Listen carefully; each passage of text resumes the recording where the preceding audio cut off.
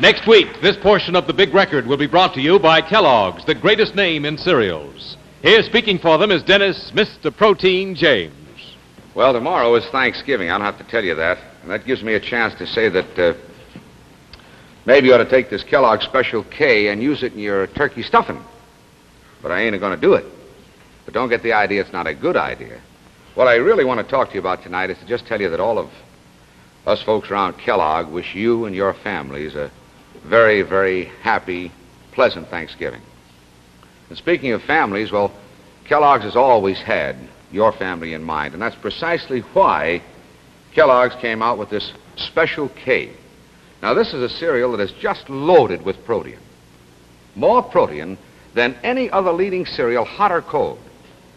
I've told you before, and I think you'll agree with it, every one of us every day needs protein. It, it repairs and it sustains all body tissue. And Special K here gives you protein in a very tempting way. Take a look at it. Now, it's not a puff and it's not a flake. It's more than both of those. But I can tell you this. Here is a cereal whose flavor you're going to love. Special K with a big red K on the front and all that wonderful protein inside. So try it tomorrow for breakfast, will you? Or if you want to stuff the turkey with it, that's okay by me. Suit yourself. We'll get back to the big record right now, and I'll see you all next week, okay? Okay.